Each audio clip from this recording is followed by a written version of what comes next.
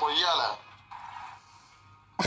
அப்படியே drive drive இப்பதான் கார்ல உட்காந்துட்டேன் டிரைவ்ல கார்ல உட்காந்துட்டேன் இருந்தாலும் எப்படி இருக்கு பாரு ஏறி வர.